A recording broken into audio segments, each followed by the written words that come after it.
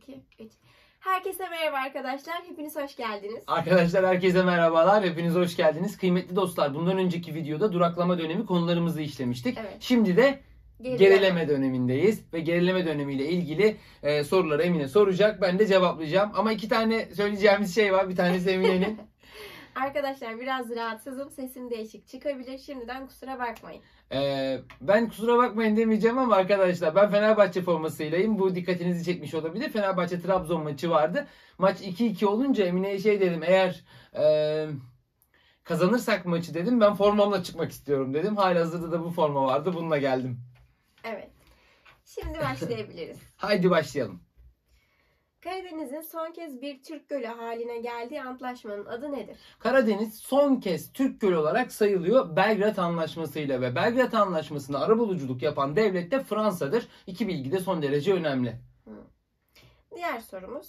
Osmanlı Devleti hangi antlaşma ile Kırım'ın Rusya'ya ait olduğunu kabul etmiştir? Kırım'ın Rusya'ya ait olduğunu e, Kay şifresini bilmemiz gerekiyor diye düşünüyorum önce. Direkt cevabı vermeyeyim. Kay şifresinde Küçük Kaynarca Anlaşması, Aynalı Kavak Tenkihnamesi ve Yaş Anlaşması var. Küçük Kaynarca Anlaşması ile Kırım bağımsız oluyor. Ne Rusya'nın ne bizim.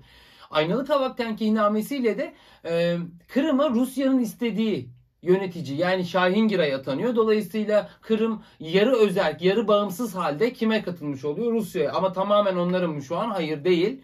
İç işlerinde serbest, dış işlerinde Rusya'ya bağlılar Şahingiray sebebiyle. Son olarak da Yaş Anlaşması var. Yaş Anlaşması ile de Osmanlı Devleti 1792 yılında Kırım'ın Rusya'ya ait olduğunu resmen kabul ediyor.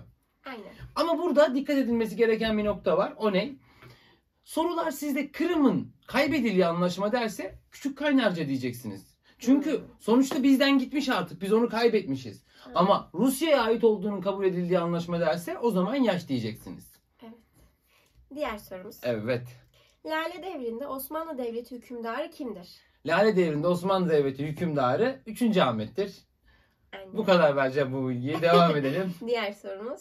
Fransa'nın Mısır işgali sırasında Napolyon'u mağlup eden Osmanlı komutanı kimdir? Şimdi e, Fransa Mısır'ı işgal ediyor. Biz ilk defa denge politikası uyguluyoruz. İngiltere ve Rusya'yı kendi yanımızda çekiyoruz. Onlar e, denizlerde Fransız donanmasına zarar veriyorlar İngiltere ve Rusya.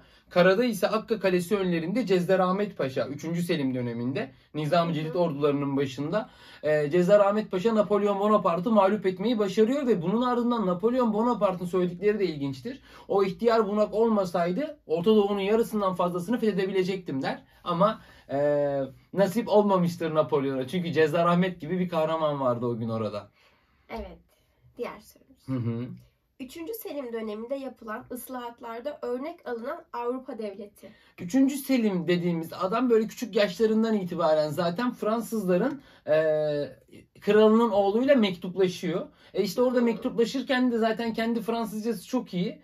Dolayısıyla Fransa'nın da diplomasi dili olduğunu biliyor. Haliyle Osmanlı okullarında, askeri okullarında Fransızcayı resmi dil haline getiriyor. Evet.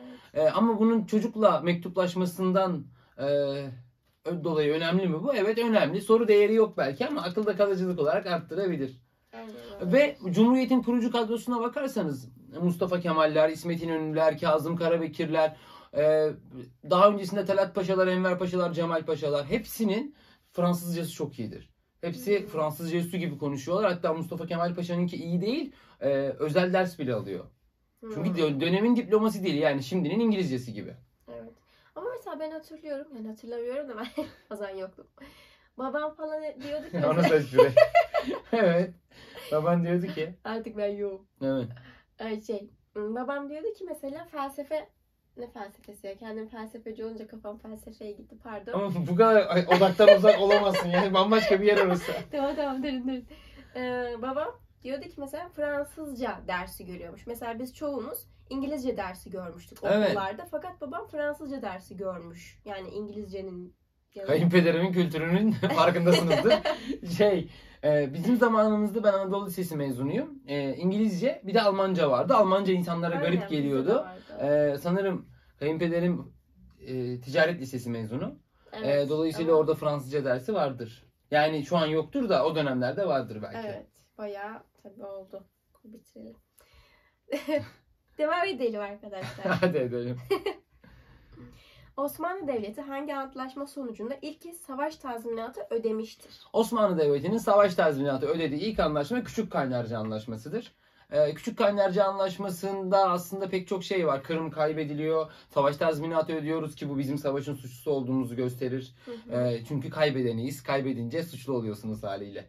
Gibi gibi şeyler söyleyebiliriz. Evet. Diğer Hı sorumuz. hı.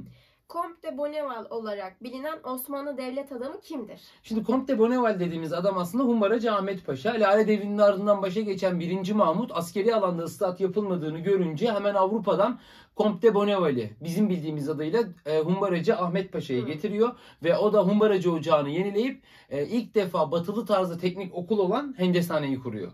Evet. Diğer. Devam edelim. Lale Devri'nin ünlü sadrazamının adı nedir? Lale Devri'nin ünlü sadrazamının adı Nevşehirli Damat İbrahim Paşa'dır. Evet. Bana bu hep şey hatırlatıyor.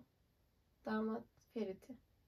O da kötü Evet ama ama e, Nevşehirli Damat İbrahim Paşa'nın böyle hainliği falan yok. Onun bir şeyi yok ama şey haindi yani. Evet. Damat Ferit yüzde yüz haindi ya. Yani hıyaneti vataniye kanunuyla gıyaben yargılanan ilk kişi zaten. Evet. Ha, hainlik sayısı çok yüksek onun. Evet devam edelim. Diğer sorumuz. Osmanlı Devleti'nde Lale, Lale Devri'ne son veren gelişme ne olmuştur? Ama sen sesin kötü de, demiştin. Okuyamayacağım dememiştin. Lale Devri'ni okudum okudum. Biraz. Lale Devri dediğimiz süreç 1718 yılında Pasarofça Anlaşması'yla başlar. 1730 yılında patronu Halil İsyanı ile biter. Evet. Papa. Evet. Aynen. Diğer sorumuz. Osmanlı Devleti'nde ilk kez iç borçlanma örneği sayılan senetlere ne isim verilmektedir? E, Bunlara Esam senetleri adı verilir. Esam senetlerini hazırlayan padişahımız 3. Mustafa'dır ama bunları uygulamaya geçiren kişi de 1. Abdülhamit'tir. Diğer sorumuz. hı. Lale Devri'nin ünlü minyatürcüsünün adı nedir? Lale Devri'nin ünlü minyatürcüsü de Levni'dir arkadaşlar. Bu da önemli bir bilgi. Yekpare böyle kendi başına bir soru olma ihtimali var diye bunu da koyduk. Devam edelim. Hmm, Diğer sorumuz. Nizami Cedid yeniliklerine bir fon kaynağı oluşturmak amacıyla açılan hazinenin ismi nedir? Şimdi Nizam-ı Cedid yenilikleri 3. Selim döneminde ve Nizam-ı Cedid yenilikleri içerisinde kurulan Nizam-ı Cedid ordusu başta olmak üzere bu dönemi yenilikleri için kurulan bir hazine var. Bu hazine de İradı Cedid hazinesidir. Hatta Evet. bazı kaynaklar e, sarayın içerisinde bulunan gümüş ve altınların eritilerek bu hazineye e, destek sunulduğu söylemektedir. Benziyor Nizami Cedid, İran Aynen. Cedid falan. Aynen. Evet. Burada herhangi bir şey veremeyeceğim. Bitiyor. evet. Diğer sorumuz arkadaşlar. Osmanlı Devleti'nde Avrupa'dan getirilen ilk asker askeri uzman kimdir? Hadi bakalım inşallah okuyacak Emine. ya öyle deme. tamam hastalığına veriyoruz. Ama ben hastayım. Şimdi e, Osmanlı Devleti'nde Avrupa'dan getirilen ilk askeri uzmanı mı sordun sen? Evet. E, Comte Bonneval yani Humbaracı Ahmet Paşa getiren adam da birinci Mahmut'tur arkadaşlar. Evet. Arkadaşlar son sorumuz. Hı hı. Osmanlı Devleti ilk iç borçlanmaya hangi padişah döneminde gitmiştir? Bunu da az önce söylemiştim aslında. E, Esam senetlerini hazırlatan kişi 3. Mustafa ama bunları uygulamaya koyan kişi 1. Abdülhamit'tir. Bu şekilde bilmenizde fayda var arkadaşlar. İkisini de bilmek gerekiyor. Şıklarda biri olmazsa birini işaretlersiniz diye. Evet. Evet bugün kısa bir video oldu galiba. Aynen bugün biraz kısa bir video oldu. Yapacak bir şey yok. Evet teşekkür ederiz kıymetli dostlar. Ee, bir sonraki videoda artık devam edeceğiz yine soru cevap yapmaya. Kendinize çok dikkat edin. Hepinize teşekkür ederiz arkadaşlar. Hoşçakalın.